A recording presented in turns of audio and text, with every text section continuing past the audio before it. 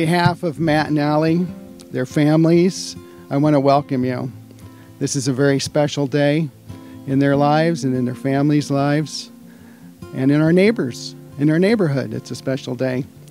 We're gathered in the presence of God, family, friends, to unite Matt and Allie in holy matrimony.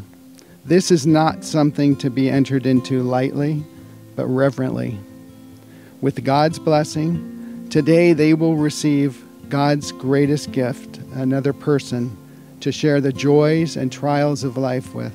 So, as those who have been chosen by God, holy and beloved, put on a heart of compassion, kindness, humility, gentleness, and patience, bearing with one another and forgiving each other.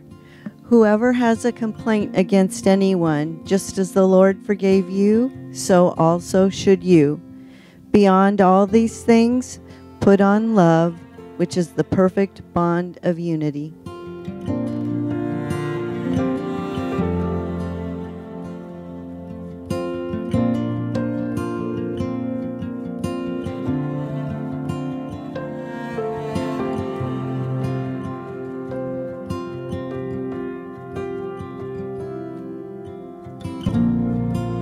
I, Matt, take thee, Allie, to be my wedded wife, I, Allie, take thee, Matt, to be my wedded husband, to have and to hold from this day forward. for better, for worse, for richer or poor.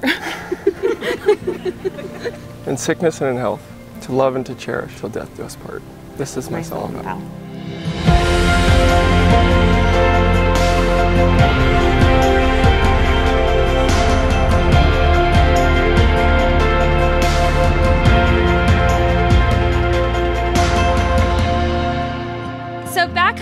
Denver, I work in education. And to do my school proud, I thought we'd start off this speech with a brief vocabulary lesson. The word is sister. to borrow from our good friend Merriam Webster, the word is commonly defined as a female who shares one or both parents with another. No disrespect to Merriam, but what a horrible definition. Another definition I found stated that a sister is one that is closely similar or associated with another. There we go, that's closer. Having grown up with three brothers myself, and after almost 20 years of friendship with Allie, I feel like I had the right to make up my own definition. To me, a sister is mandatory. But for real, without Allie, I wouldn't have survived our younger years. She was there for me in hard times, in good times, and everything in between. she taught me what it means to care deeply for people, how important it is for someone to have your back, and how to always end a phone call with, I love you. No, but I love you more. for me, your sister is your closest companion, biggest champion, keeper of all secrets, someone who borrows your clothes and forgets to give them back. the one that comes over for a Friday night sleepover and doesn't leave for a year. The one who will eat every Parmesan bagel with you and French onion dip, who loves your parents like their own, especially Lowell Bill, who will laugh with you, cry with you, and celebrate with you. The real word and definition for a sister is Allie. Little did I know that one day, about three years ago, while I was in the middle of the Target, I received a phone call from Allie that was the start of why we're all here tonight. From the second I said hello, I could tell this girl was giddy. She had news to share.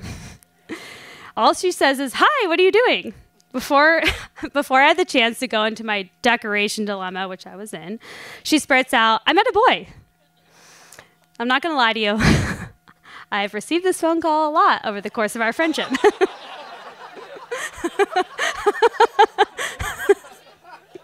However, from the tone of her voice and her insane excitement, I could tell this one was different.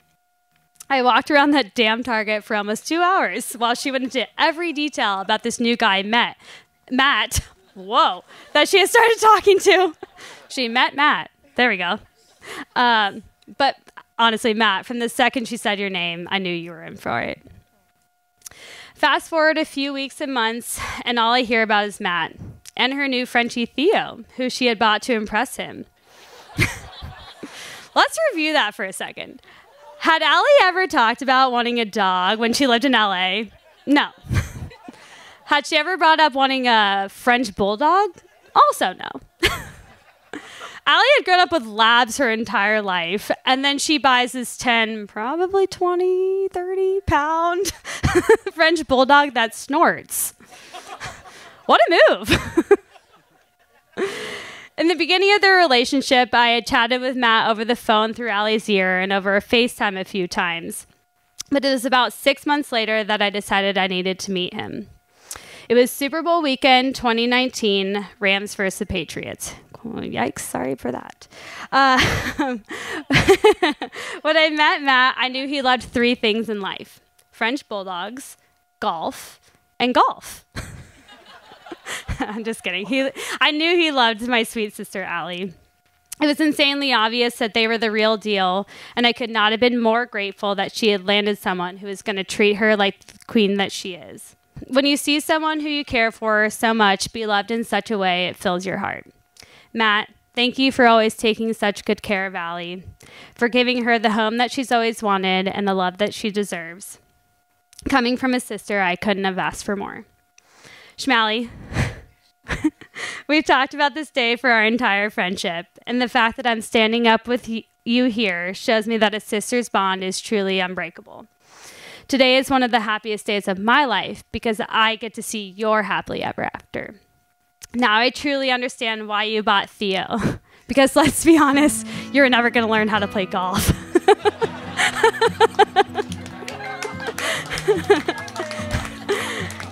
Allie and Matt, you're playful, kind, so loving, and the most generous. I know I speak for all of us in this room tonight when I say, We love you. We will support you as you enter this new chapter of your life. We are so grateful you chose us to be a part of this special moment. Schmal found her man, so in my mind, that means I have a new brother in law.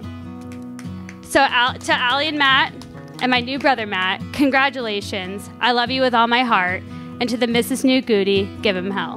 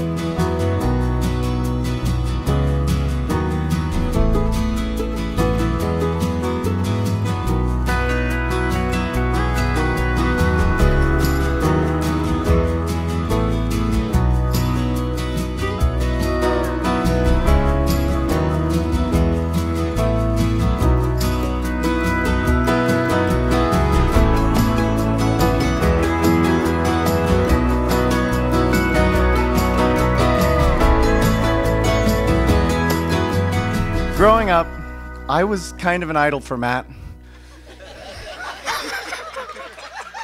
Everything I tried, he would do the opposite. For most of our life, the only thing that Matt and I had in common was our last name.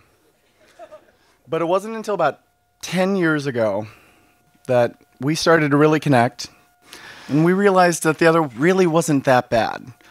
We were kind of cool with each other, and maybe we could be friends, and of course, I could buy him beer on the weekends because I'm older. In the uh, about nine years since Matt and I have experienced three nights that probably should have gotten us killed. We took 21 shots for my 21st birthday. But all's good. The next morning, a couple shower beers, washed it all off, and we drove up to Cedar Falls to find my dad's boss. The very first person we find after I don't know, probably 18 beers each, is the guy who signs my dad's check. Thanks. He hands us a Coors Light and says, Have fun. Everyone involved in that weekend might need a new liver, and we would have failed a blood alcohol test on Wednesday, but we made it. Not all of my stories about Matt involve alcohol. Some are about hard drugs and sex and gambling. but I'll save those so my mother doesn't have to hear them. But of course, we're here to celebrate Matt and Allie. Though I remember the first night I met Allie. I was the first in the family to get the pleasure. And I was visiting for Christmas after an incredible dinner with the Dolcemassios. We went to the Sherman Oaks house, and Matt asked what I had planned for the next day. Matt had to work, so I said, You know what? I'll cook dinner. We'll let all your roommates and all their partners come on over. It'll be a great night. He said, Cool. I have a friend. I've been texting this girl. I think you'll like her. He said if he asked if it'd be cool. I said, I don't see why not. If you like her, I will too. And he thought we'd get along. The dinner was great, but the company was wonderful. It was not long after that that Matt brought Allie back to Iowa to meet mom and dad, and it was a hit. Allie learned that weekend that not only will the Goody and Berg family welcome her with open hearts, but also there's no sleep like Iowa sleep. We figured some of it might have been jet lag, but when she woke up at noon the next day, she, she knew she was home. And we knew that Allie was a perfect fit as soon as she started meeting the families. She took over to our crew like a fish to swimming. And we're not always the easiest to get along with. There were two moments that I'll never forget. When Allie had her first bite of a Rocky Mountain oyster at the Iowa State Fair. a Rocky Mountain oyster is a bull testicle. And of course, the night that Matt dropped to one knee.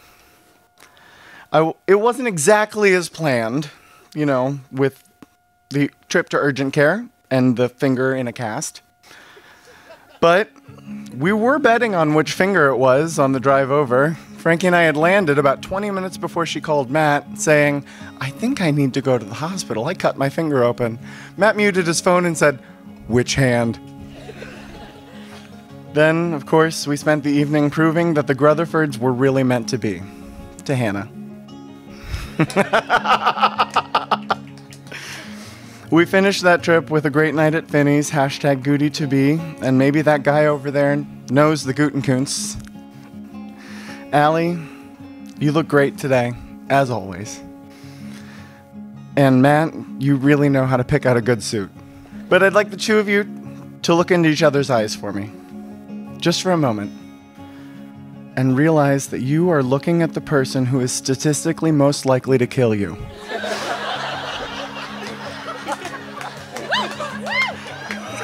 So if everyone else would raise a glass to Matt, my best friend, and to Allie, the person who has made him happier than I have ever seen before. Sláinte mhath.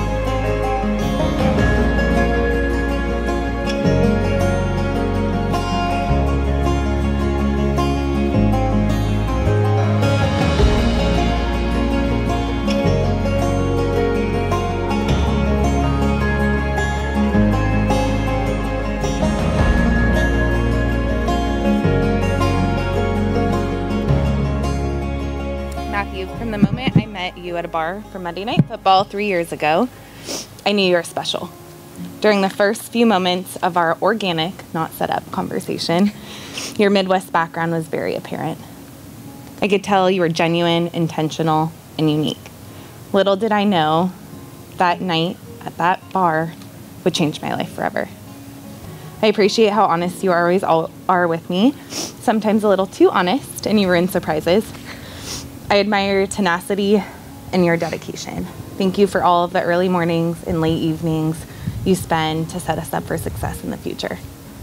I'm really proud of what we've accomplished together so far promotions, paying off both of our student loans, buying a total teardown of a house that many of you did not um, approve of or maybe thought we were a little crazy, um, a total renovation, and a recent job change. And this is only the beginning. There's no one in this world I'd rather share these experiences with. I'm even more excited for what's to come. Thank you for loving me and my family so hard and for being the greatest Rutherford supporter. I've always prayed for the perfect fit as my significant other, and you are much more than that, especially with all the Rutherford mouth kisses. I'm so excited. I'm so excited for our families to officially become one today. Hey, the Rutherfords has a nice ring to it. I'm beyond blessed um, to have met you and joined such an incredible family, and words cannot express how lucky I am. Allie, you're the most sensitive, caring, humble, and enthusiastic person that I've ever met. I, as you know so well, am practical, tolerant, and a little bit more conventional. I have no doubt that God paired us to balance out one another. He put you in my life to be my adventure, my ecstasy, and He put me in your life to be your rock, your tranquila. Three trips around the sun to this day since we first met, and we've already accomplished so much together. Growth in our faith, growth, excuse me, countless hours of laughter and joy, career advancement, a complete home renovation that had us asking each other, whose idea was it to buy a fixer upper? Yours. It was. Who knows how much more we could have done had there not been a global pandemic for more than half of those days together. But we're just getting started. As we enter this lifelong bond in front of our family and closest friends, I promise to always practice yoga with you. Shake up your favorite cocktails. Pretend to be busy doing literally anything else just to get out of helping you put on the cover to our duvet.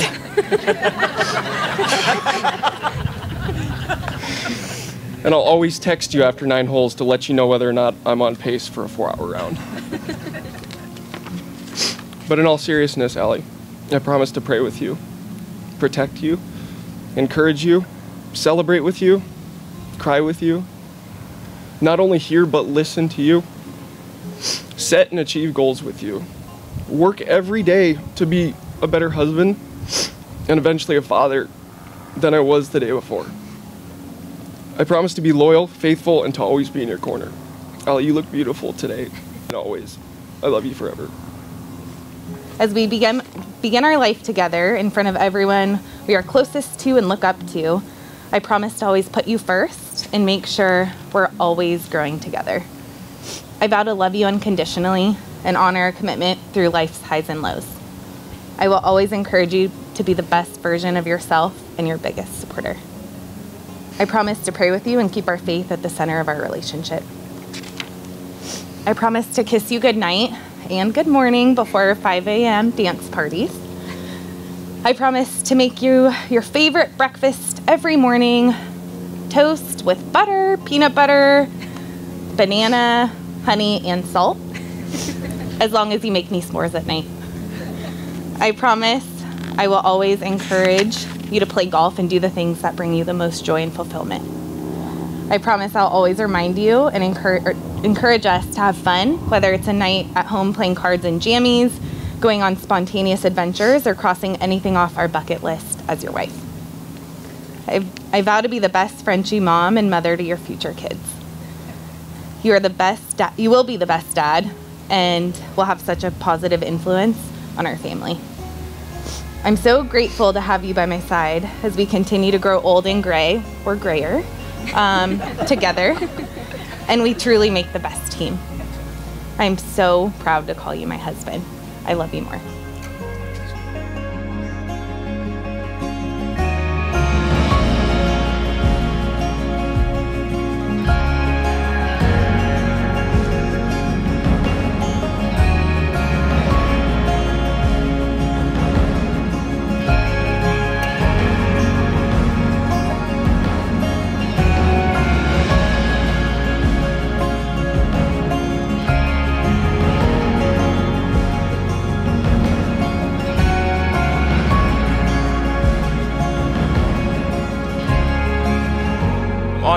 My beautiful wife and I, uh, we'd like to thank you all for coming. Um, you came from far away or close by, and um, our hearts are so full right now because we have our best friends, our families uh, for both sides, all four sides, our work friends, people that we grew up with. It's it's so overwhelming, um, but we're just gonna eat this up tonight and have a great time. And um, tonight, after we're done with the reception and everything, we're going to PJ's. It's a dive bar in Thousand Oaks. We got a bus that's driving us over there, so we're gonna keep the party going later on. So um, it's gonna be a great night. And thank you all for coming out here. We love you all so much. Yeah.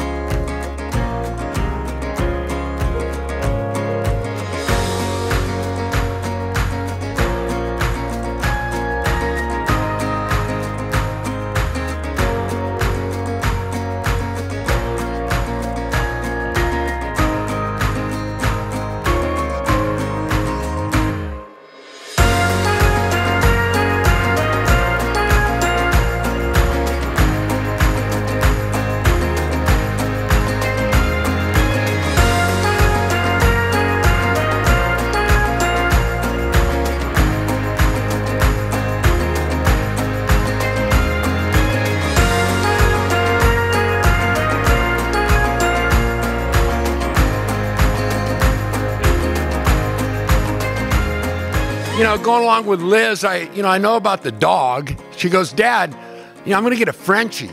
I thought, is that a manicure? What the, what the hell's a Frenchie, you know? And, uh, you know, I'm, there's this guy. I'm going to get a dog. I go, oh, cool. I'm going to get a dog. You know, well, I took care of the dog for about a year and a half, you know? I, I taught him pretty well, you know, and I'm thinking, okay, you know, I mean, I don't know where to go from here. This guy comes over. I mean, let me talk about my daughter first and my wife. I mean, we're I don't know where she came from. Not definitely not me, her mom. You know, I mean, the people that know me, you know, you know me. I mean, not me. You know, I mean, so you know, I get a knock on the door. Here's Matt, and my my boys and I are sitting at home.